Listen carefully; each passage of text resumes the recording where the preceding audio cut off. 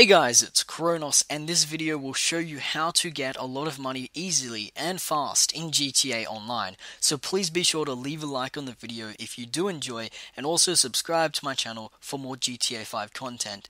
So in this video, as you can see, I'm robbing a convenience store and this is part of how to get a lot of money. So once you've robbed that convenience store, you want to head right out of that convenience store and press start.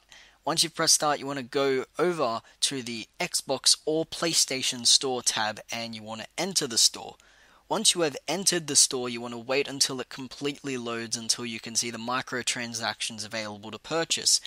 Then, once you have seen that, you want to back out of the menu and it will take you back to where you were before, just outside the convenience store. But the great thing is, you won't have any cops on you and you can go back and rob that convenience store again. So go back in, and Robert. Come back out, press the start menu, go to the Xbox or PlayStation Store um, tab, and wait for it to fully load, exit out, and rinse and repeat. It's that simple, guys.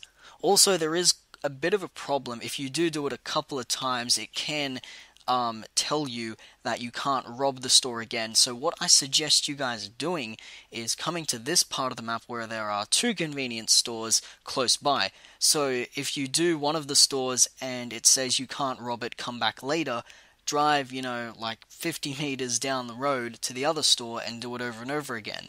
So that is how to do it, guys. It's very quick and easy money. So please leave a like on the video, as I said before, and subscribe for more GTA 5 content. I hope you enjoyed this video, guys. Video, guys, and I'll see you guys next time.